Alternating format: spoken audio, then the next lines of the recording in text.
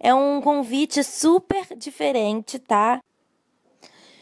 Primeiro eu vou pegar a panela e vou fazer um círculo em volta da panela, tá? Como molde.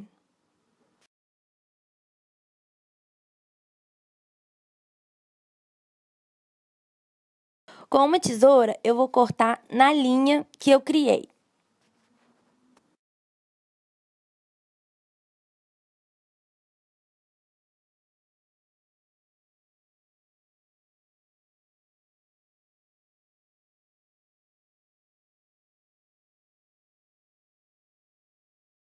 Meu convite impresso, eu vou passar a cola.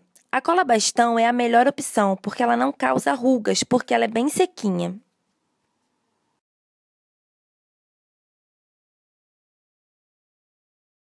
Depois eu vou colar o convite impresso dentro da panela e com um lápis colar as, a borda do convite.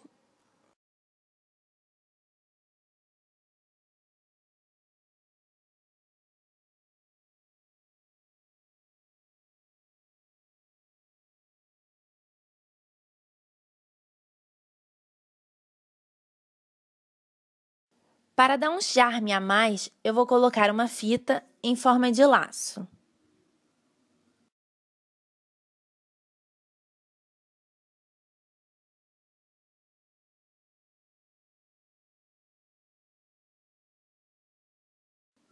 E o nosso convite em forma de panela ficou assim.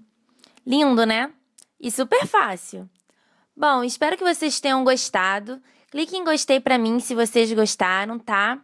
Até os próximos vídeos.